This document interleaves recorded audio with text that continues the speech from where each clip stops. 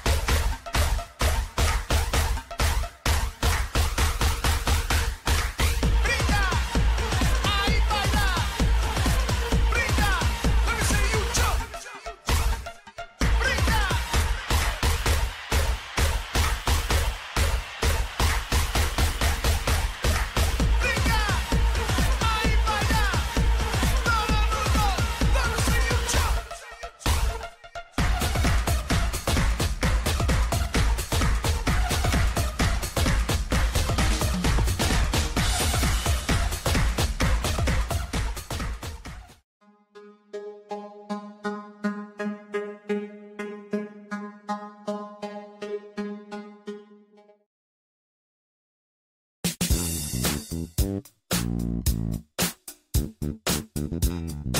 you.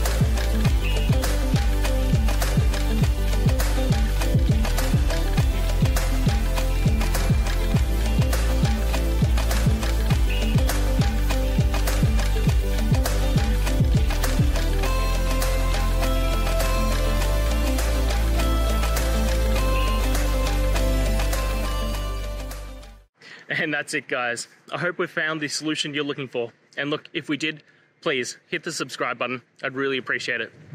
And until the next time you need technical help, I hope you have a good one.